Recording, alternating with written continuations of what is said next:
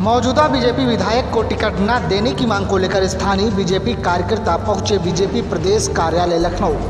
हमीरपुर दो सौ उनतीस राठ विधानसभा से मौजूदा विधायक मनीष अनुराग को टिकट न देने की मांग को लेकर हमीरपुर दो सौ उनतीस राठ विधानसभा क्षेत्र के स्थानीय कार्यकर्ताओं ने बैनर पोस्टर के ज़रिए मौजूदा विधायक मनीष अनुराग का बहिष्कार किया।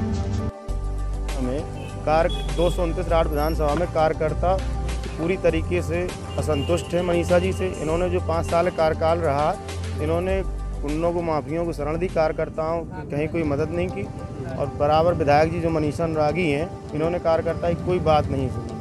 अपने मनमाने तरीके से काम किया, भारतीय जनता पार्टी किसी भी व्यक्ति कोई प्राथमिकता नहीं, दूसरी पार्टी के लोगों को काम दिया, लाभ दिया, उनकी बातें सुनी, हमारा कार्यकर्ता परेशान रहा, भारतीय जनता पार्टी का। किसी की कोई बात नहीं सुनी अपने तरीके से मनमानी करके इन्होंने काम किया। अगर इनको टिकट देती है पार्टी तो निश्चित से वहाँ से एक एक सीट खो देगी।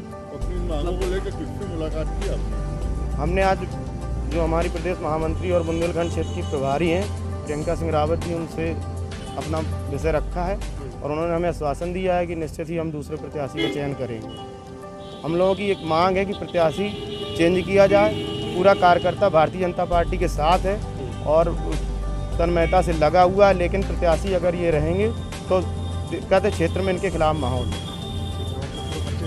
मैं रविंद्र सिंह चौहान, जिला मंत्री किसान मोर्चा, भारतीय जनता पार्टी, हमीरपुर।